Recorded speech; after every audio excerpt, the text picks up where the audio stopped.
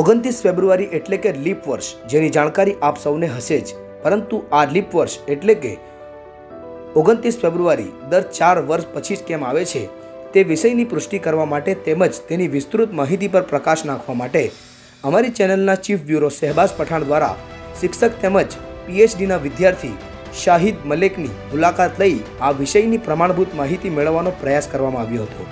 જુઓ આ ખાસ રિપોર્ટમાં.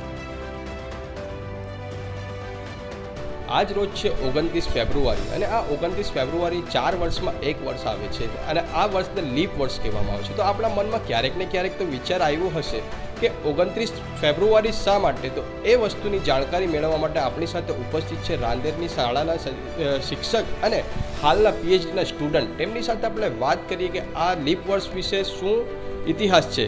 તો શાહિદભાઈ તમે મને જણાવશો કે આ ઓગણત્રીસ ફેબ્રુઆરી પાછળનો ઇતિહાસ શું રહ્યો છે? સાહેબ લીપ યર્સની શરૂઆત છેતાલીસ ઈસવીસન પૂર્વમાં જુલિયસ સીઝર દ્વારા નિયુક્ત વિદ્વાનો દ્વારા કરવામાં આવેલી હતી. લીપ યર એટલે કે વર્ષની અંદર ત્રણસો પાસઠ નહીં, પરંતુ ત્રણસો ને છાસઠ દિવસ.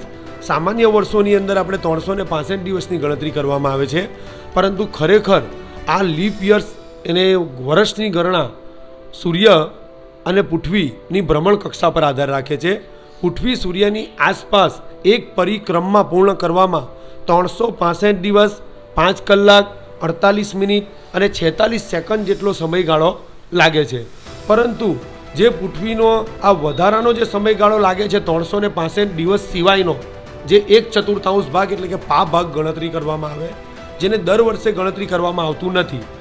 અને એ વધારાના સમયને એટલે કે પાંચ કલાક, અડતાલીસ મિનિટ અને છેતાલીસ સેકન્ડ એને દર ચાર વર્ષે ગણતરી કરીને એ ચોવીસ કલાક ભેગા થાય છે દર ચાર વર્ષે. અને આ ચોવીસ કલાક એટલે એક દિવસ. જે લીપ યર્સની અંદર ત્રણસો ને છાસઠ, ત્રણસો પાસઠ વત્તા એક દિવસ ચોવીસ કલાક. ત્રણસો ને છાસઠ થાય અને આવી રીતે લીપ યર્સની અંદર આપણે ત્રણસો ને છાસઠ દિવસની ગણના કરવામાં આવે છે. જે વર્ષમાં દર વર્ષે નહીં, પરંતુ દર ચાર વર્ષે થાય છે.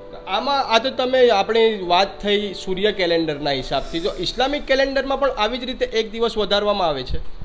હા હવે ઇસ્લામિક કેલેન્ડરનો ઇતિહાસની વાત કરીએ તો રોયલ મ્યુઝિયમ ગ્રીન વીચની વેબસાઇટ અનુસાર ઇસ્લામ મહિનાની અંદર અલ હિજર મુજબ બારમો મહિનો જીલ હજ્જાની અંદર પણ વધારાનો એક દિવસ ઉમેરવામાં આવે છે. જો આ વધારાનો એક દિવસ ઉમેરવામાં નહીં આવે તો લોકોને શું તકલીફ પડી શકે છે?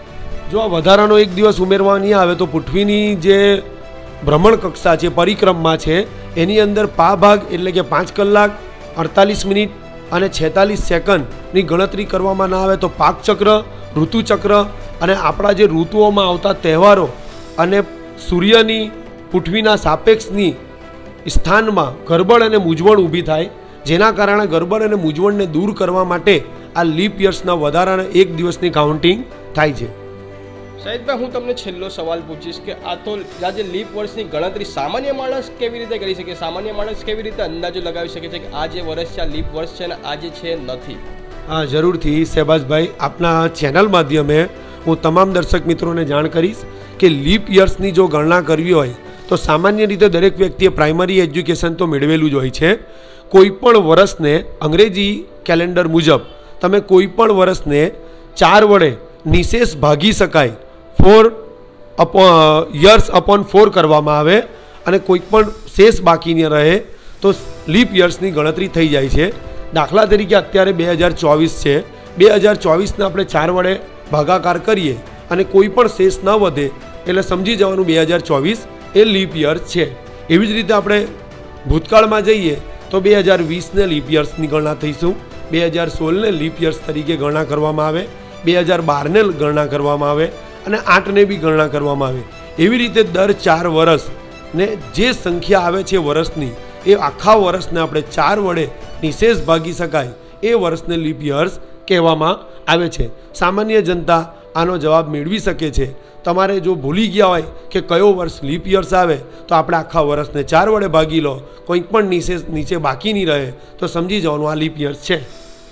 આવી રીતે આપણે વાત કરી ઓગણત્રીસ ફેબ્રુઆરીના ઇતિહાસની આવનારા નવા એપિસોડમાં બીજા મુદ્દા સાથે મુલાકાત લઈશું. ત્યાં સુધી મને રજા આપો અને જોતા રહો ટીવી નાઇન્ટી ટુ ગુજરાત, ગુજરાતનો આવાજ.